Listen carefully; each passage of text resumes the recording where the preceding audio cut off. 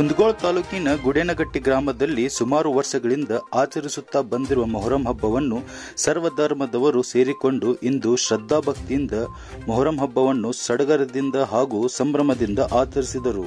ಈ ಸಂದರ್ಭದಲ್ಲಿ ಗ್ರಾಮದ ಹಿಂದೂ ಮುಸ್ಲಿಂ ಬಾಂಧವರು ಭಾಗವಹಿಸಿ ಮಳೆ ಬೆಳೆ ಚೆನ್ನಾಗಿ ಆಗಲಿ ಎಂದು ದೇವರಲ್ಲಿ ಪ್ರಾರ್ಥಿಸಿದರು.